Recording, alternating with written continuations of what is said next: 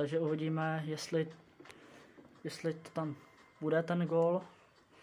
Tady vidíme ten gól, který dal Pavel Schulz, mě se to nenahrálo.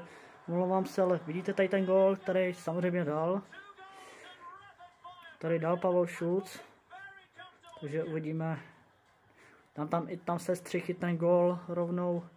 Po tomhle videu tam dám ten gól, který tam dal uh, Adrio Balua. A tohle to ještě gól, který tam dal sám Balua, teda sám Pavel Schulz, který ho jsem samozřejmě posvědla a doufám, že bude dávat dál goly, ale tohle byl krásný gól a doufám, že sám video bude vidět a dejte srdíčka a tak dále.